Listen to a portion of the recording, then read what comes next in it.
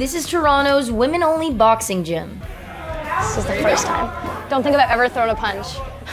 Founded in 2007, Girls Just Wanna Box is all about uniting women with the love of the sport and having them decide whether they want to box for fun or for real in the ring. Regardless of where you want to go with it, they've created a welcoming space to learn and grow. When I was boxing, there wasn't that many opportunities, and it took me 10 years to get that experience that I was able to go, okay, girls just want to box. Why is this so hard?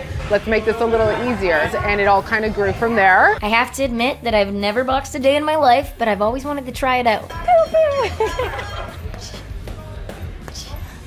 This is like tricking. GJWB partners Christina and Helene's all level in person and virtual classes meet you where you're at and provide you with the proper equipment you need to get it done. On top of their training, they focus their attention on creating gloves for women because before them there weren't really any options. And if you're like me and have tiny hands, you'd either be stuck with a kid's glove or one that's not the right size for you. I never had a glove manufacturer come in and say, here's a women's glove. We spent uh, two years basically ripping apart gloves and redesigning them to fit women properly. A lot of women were like, oh, I didn't realize my hand wasn't supposed to hurt. We're boxers and coaches ourselves, so we were able to develop the glove knowing what we needed.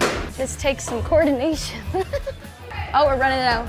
We're running it out. I don't think I'll be ready to fight anytime soon, but I think I'll keep this up. Plus, I left knowing the basics, so catch me shadowboxing on the streets.